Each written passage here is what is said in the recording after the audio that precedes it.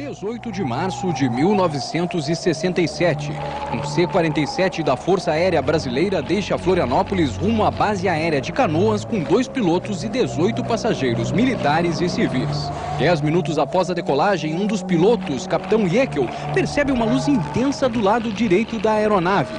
A luz acompanha o avião mudando rapidamente de posição. O capitão Jekyll transmite a localização ao Centro de Controle Aéreo de Porto Alegre e pergunta se há outra aeronave naquela região. O centro de controle não identifica nada e autoriza a perseguição ao objeto. O outro piloto, o capitão Puguet, começa as manobras. Toda vez que se aproximam, o objeto se afasta rapidamente, alternando a intensidade de luz e cor. Quando se dão conta de que a perseguição é inútil, os pilotos decidem seguir para o aeroporto de destino em Canoas. Neste momento, descobrem que são dois os objetos no céu. Os passageiros também testemunham o fenômeno. Avistamento, Pelotas, 5 de outubro de 1996. 1996. Foi destaque no Teledomingo de ontem a reportagem sobre o mistério no céu gaúcho. A possibilidade da existência de OVNIs, objetos voadores não identificados. Relatos registrados na Força Aérea Brasileira comprovam casos acontecidos aqui no estado. Confira agora a reportagem que o Daniel Tserciak fez sobre os casos aqui em Pelotas. Essa poderia ter sido mais uma foto de formatura de um militar do Exército, mas não foi. O registro feito em 1996 mostra um objeto estranho no céu. E essa foto foi analisada e comprovada como verdadeiro. Essa sim é um disco voador. Ele tem toda a característica. Outros casos foram registrados no grupo de estudos ufológicos de Pelotas. O desafio deles é comprovar a existência de algo de outro planeta. Sim, é tentar identificar esse fenômeno para podermos estudá-los e termos algo palpável, porque a maior dificuldade do ufólogo é essa, a parte de ter algo palpável. Nas ruas, a maioria das pessoas não leva fé que existam discos voadores e ETs. O senhor acredita? Acredito. Acredita mesmo? Ah, dá meio confusa. Não. Acredita em disco voador? Não. Nunca vi. Não. o único ET que eu vejo todos os manhãs é minha face quando eu me vejo no espelho. Tem gente que acredita, eu não.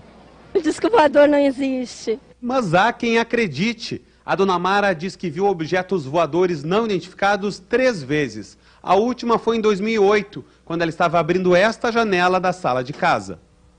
Olhei assim para lá, vinha duas esferas é, meio transparente, assim, azuladinha. Aí elas vi, vinham vindo de, de cima para cá, fizeram a voltinha e foram lá para o lado de Rio Grande. Não sei se é disco voador, é objetos voadores não identificados. Não sabemos o que é, estamos estudando para ver o que, que é. A paixão pelo assunto é tão grande que a Mara tem em casa um espaço reservado para a coleção de ETs. E ela tem uma opinião sobre o que eles estariam vindo fazer na Terra.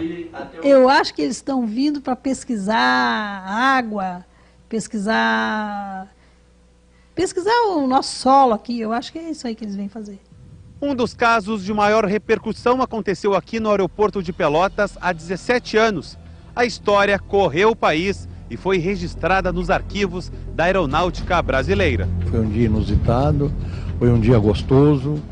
Nós passamos uma manhã maravilhosa. É, falamos somente a respeito daquilo. Nós não tínhamos outro assunto, era só aquilo o que seria, o que não seria, o que, que aconteceu. Um domingo de outubro que não vai sair da memória do aposentado Gilberto dos Santos, que trabalhava como fiscal de pista do aeroporto quando algo no céu chamou a atenção dele e de um piloto que sobrevoava a Lagoa dos Patos. A gente tinha noção do tamanho da sombra que a gente via, né? É, vou te dizer assim, tinha, era muito grande. A gente não sabe precisar assim um tamanho, é, por medidas, mas era bastante grande e ficou aproximadamente ali uns três minutos, eu acredito. E logo em seguida desapareceu, como num toque de mágica sumiu. Tinha a forma de uma pirâmide. Era é, pelo tamanho, ele era bastante. Notava-se que era também arredondado pela sombra, né? E, e tinha o formato de uma pirâmide, muito alta por sinal. Pode-se afirmar então que existem discos voadores? É, discos voadores ou naves extraterrestres. Né? Eu não posso afirmar que exista, né? Mas o que eu vi, eu vi. Isso aí eu vou afirmar o resto da minha vida.